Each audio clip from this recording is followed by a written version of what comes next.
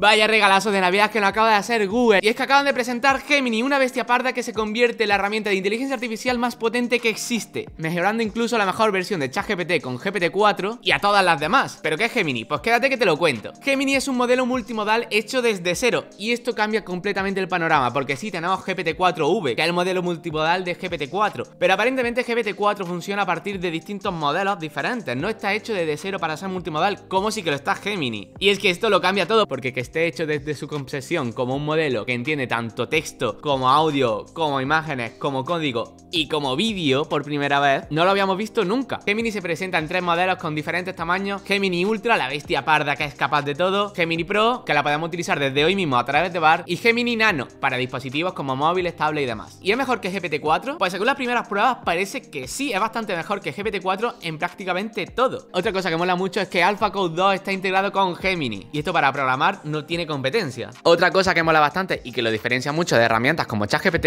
es que Gemini puede crear sus propias interfaces de usuario para que el usuario interactúe mucho mejor con el contenido que genera. ¿Cómo puede utilizar Gemini? Desde Bar lo puedes utilizar desde hoy mismo, a no ser que seas de Europa, porque ya sabéis cómo va la legislación de Europa, que tarda unos días en aprobar la herramienta, así que lo mismo si eres de Europa lo puedes utilizar en unos días. Ahora, puedes utilizarlo con VPN en Opera, por ejemplo, y poniendo tu cuenta con idioma predeterminado en inglés. Es que Google y DeepMind acaba de romperlo por completo. Os voy a mostrar un vídeo en que enseña las verdaderas capacidades de Gemini. Pero antes, si te gusta la inteligencia artificial, pues sígueme para más.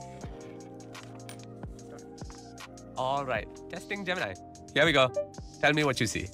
I see you placing a piece of paper on the table. I see a squiggly line. What about now? The contour lines are smooth and flowing, with no sharp angles or jagged edges. It looks like a bird to me. Hmm, what if I add this? The bird is swimming in the water. It has a long neck and beak. It is a duck. Yes. A duck is a type of waterfowl in the family Anatidae. Ducks are closely related to geese and swans. The duck appears to be blue. This is not a common color for ducks. However, there are some breeds of blue ducks. These are typically not as common as other duck breeds. It is more common for ducks to be brown, black, or white. Are you sure? What the quack? I was just talking about a blue duck, and now you're holding one. It looks like blue ducks are more common than I thought. Would this float? I'm not sure what material it's made of, but it looks like it might be rubber or plastic. What if I tell you it's making a squeaking sound? Oh, if it's squeaking, it's definitely going to float. Hmm, nice. It is a rubber duck. It is made of a material that is less dense than water. Can you teach me how to say this in a different language? And give me a few options. Ooh, can you explain how to pronounce the Mandarin one? Is it Yazi? Yazi. Is pronounced with a first tone. In Mandarin, there are four tones, which are essential to distinguish the meaning of words. The first tone is a high, level tone. Oh, okay. The duck is in the middle of the ocean. There is no land nearby for the duck to rest or find food. It is unlikely to find ducks here naturally. Okay, based on what you see, come up with a game idea. Oh, and use emojis, please. How about this? We can play a game called Guess the Country. Sure, let's do it. Clue 1. This country is the home of the kangaroo, the koala, and the Great Barrier Reef. Oh, that's easy. Clue 2. This country loves football and has won the most men's World Cups in football history. Hmm. You are trying to get me to find the paper ball under the cup. I accept the challenge. The cup to the left. Nice. I know what you're doing. You're playing rock, paper, scissors. What do you see now? The fingers are spread out to look like the wings of a butterfly. What's this? Big ear and barking mouth, a dog. Sweet. The coin should be under the right hand. Hmm, I don't know. The coin is in the left hand using a sleight of hand technique to make it appear as if the coin has disappeared. Both objects are round and flat. There you go. Both are food. The orange is a healthier choice than the cookie. Citrus can be calming and so can the spin of the fidget toy. They are both examples of popular toys that have been enjoyed by children and adults alike for many years. Give me some ideas for what I could make with this. I see pink and green yarn. How about a dragon fruit? Or how about a green cake with a pink heart? Okay, how about these colors? And maybe show me some animals.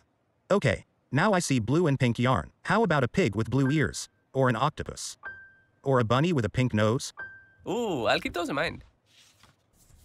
Which way should the duck go? Going left leads to a duck, which is a friend. Going right leads to a bear, which is a foe. It is better to make friends than foes, so the duck should go left.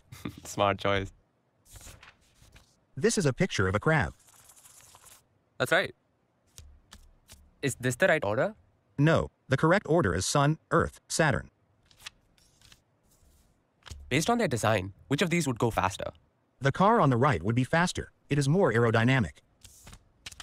Which looks more fun? The one on the right, because it has a loop. What do you think this person might be saying? How about a woohoo? Ooh, I love that. I see you're drawing a guitar. You've added an amp. Now it's an electric guitar. We can make some seriously loud music now. Given that you added drums, how about some 80s hair metal? Alright, I see you've added a palm tree to the drawing. Change it up with some beachy vibes. What movie are they acting out here? I think they are acting out the famous bullet time scene from The Matrix. Ooh, nice. What do you think might happen next? The cat is going to jump to the wall and stick the landing. It's going to be a perfect 10. Oh, and it's a miss. It looks like it was just a little too far away, but don't worry. The cat is a natural athlete and it will be back up there in no time. Okay, I've got one more for you. Describe the drawing I made. It is a simple line drawing of the constellation Gemini. You did a good job of capturing the beauty of Gemini. Nice. That's it. I think we're done.